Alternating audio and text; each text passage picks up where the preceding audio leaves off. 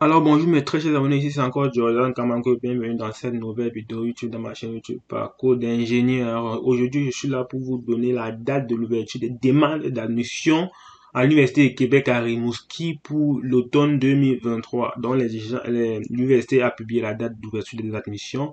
Donc euh, dans cette vidéo, je vais vous montrer, euh, je, vais, un peu vous donner les dates limites, quand est-ce que les admissions vont commencer, quand est-ce que les admissions vont se fermer, euh, bon, je vais vous montrer tous ces petits détails aujourd'hui.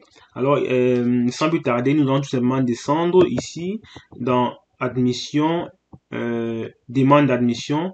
Nous allons aller très simplement ici. Ici, nous avons les différentes admissions ouvertes. On a ici automne 2022, hiver 2023, été 2023. Mais ce qui nous intéresse, c'est automne 2023, car c'est à cette date-là que va commencer euh, la bourse d'exemption euh, qui nous intéresse tous. Donc, euh, on va juste aller sur, on va juste aller sur hiver, sur, sur automne 2023. Ok.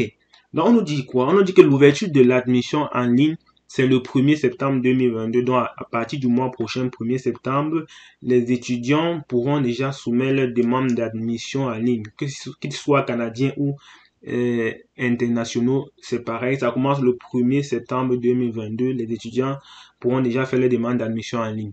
Et on vous dit également que la fermeture des admissions pour les étudiants étrangers, c'est le 31 mars 2023. Donc, vous avez jusqu'au 31 mars 2023 pour faire votre demande d'admission à l'Université de Québec à Rimouski.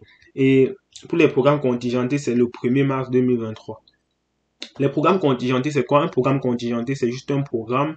Euh, en fait, c'est un programme dont les places sont limitées, en fait. Donc, peut-être on veut 200 places. Donc, il faut savoir les programmes contingentés. Il faut avoir de bonnes moyennes pour pouvoir faire euh, un programme contingenté. Bon, c'était tout ce que j'avais à vous dire dans cette vidéo. Donc, commencez à vous préparer. C'est le 1er septembre 2022. Pour ceux qui me posent cette question-là, alors vous pouvez commencer à faire des demandes d'admission à l'Université Québec à Rimouski pour le temps 2023 à partir du 1er septembre.